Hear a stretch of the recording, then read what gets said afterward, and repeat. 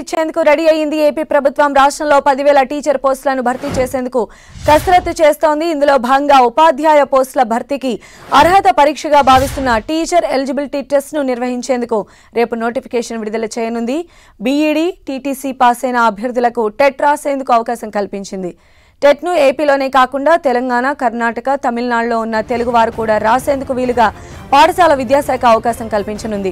అంతేకాకుండా ఒక్కసారి TET qualify అయితే అది జీవితాంతం ఉండే విధంగా కూడా నిర్ణయం తీసుకుంది.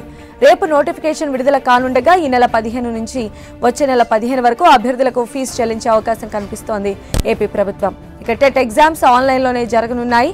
ఆగస్టు ఆరు నుంచి ఇరవై ఒకటి వరకు టెట్ పరీక్షలు జరగనున్నాయి. అదే నెల ముప్పై ఒకటిన కీ విడుదల చేసి సెప్టెంబర్ పద్నాలుగున తుది ఫలితాలు విడుదల చేసేందుకు ఏపీ ప్రభుత్వం ఏర్పాట్లు చేస్తోంది.